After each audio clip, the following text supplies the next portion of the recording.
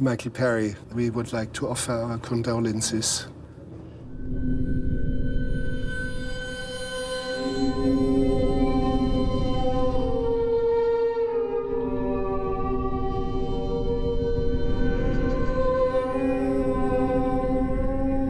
I don't know what's gonna happen. We're gonna see.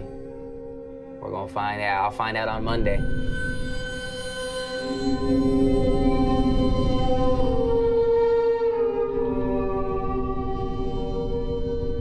So she let him in the house to use the telephone, and while he was doing that, Michael Perry stepped out of the laundry room. That's when he shot her.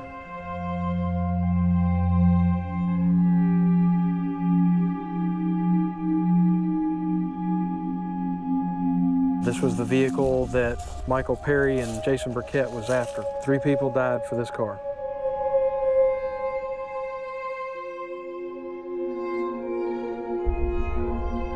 If you are granted parole in 2041, I'll be 59, 60. Long time.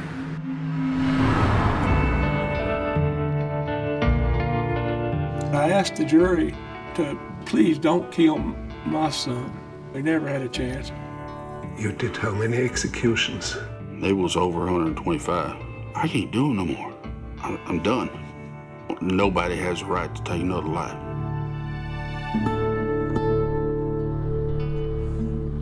I don't want to sound um, like a, a evil person, but I am so glad I went to the execution.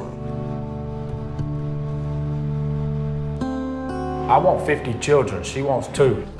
It's right there. You can tell my baby has my strong jaw. I believe that you know paradise awaits one way or the other. I tell people all the time, I'm either going home or home.